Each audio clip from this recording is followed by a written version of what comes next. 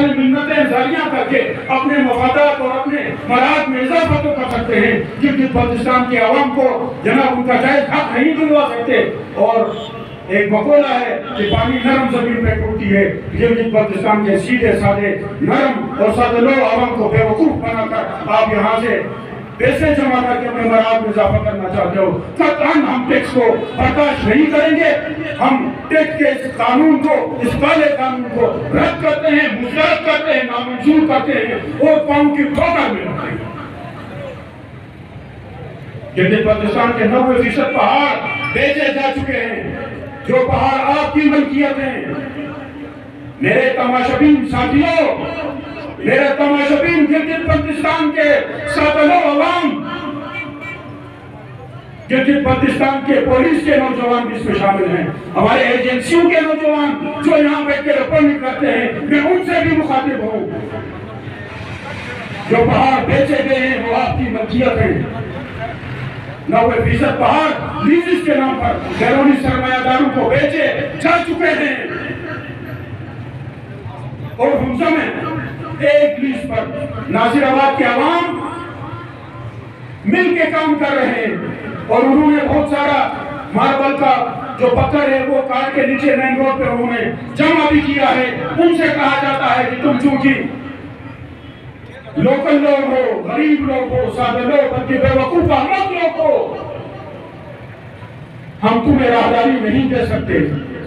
एक जगह में हमसे में काम हो रहा है, जो लोकल हमारे लोग एक इलाके की कमेटी मिलकर उस लीज पर काम कर रही है माइन पे काम कर रही है। उन्होंने थोड़े पत्थर काट के जमा किए हैं। उनको राहदारी इसलिए नहीं दी जा रही कि वो बैरूनी सरमायादार नहीं है। उन्होंने आपसे लीज खरीदा नहीं है। उन्होंने आपको पैसे नहीं दिए। मेरे साथ लोग अहमद अवाम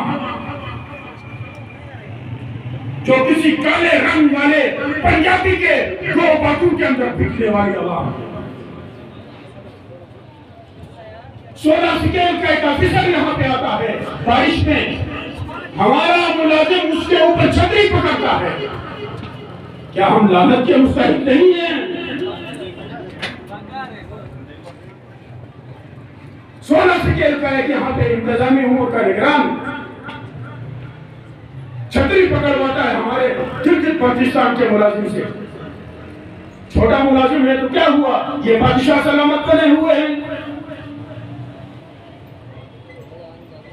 वहाँ से बारह सिकेल में आते हैं, बादशाह सलामत बने होते हैं। सुल्तान रईस साहब पर फिर हुसैन साहब पर केस बन गया। जीआईटी के सामने पेश किया गया। एक पंजाबी इंस्पेक्टर कुर्सी पे बैठा हुआ था। हमारा शेर खान उस वक्त डीएसपी का खड़ा था दरवाजे के पास। इंस्पेक्टर बैठा हुआ है क्योंकि पंजाब से आया हुआ है। बादशाह सलामत है। वहाँ पे हमारे सुल्तान रईस साहब ने कहा, हम इसलिए जंग लड़ रहे हैं। कि डीएसपी खड़ा है इंस्पेक्टर पंजाबी होने की वजह से बैठा हुआ है। बेशक पंजाब वाले हमारे भाई हैं। केपीके वाले हमारे भाई हैं। सिंध, बलोचिस्तान वाले हमारे भाई हैं। कश्मीर वाले हमारे भाई हैं। हमने तारीख में सबको सीने से लगाया है। आइंदा भी लगाएँगे। बादशाह सलामत बनने की कोशिश करेंगे। मुँह में हाथ डालेंगे बादशाह सलामत न बने। हमारी सादरोही का मज़ाक न उड़ाएँ। हमारी रहमदनी को हमारी बेवकूफ़ी न समझे। क्या समझा गिलगित बल्तिस्तान के लोगों को? अल्हम्दुलिल्लाह, आपके पंजाब से ज़्यादा लिटरेसी रेट गिलगित में है।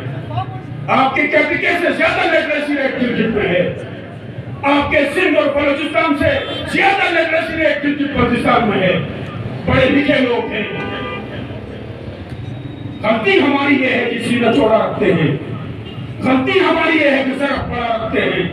गलती हमारी ये है कि सीने से लगाते हैं। और तुम सीने से लगकर पीठ में छुरा भोगने की कोशिश करते हो।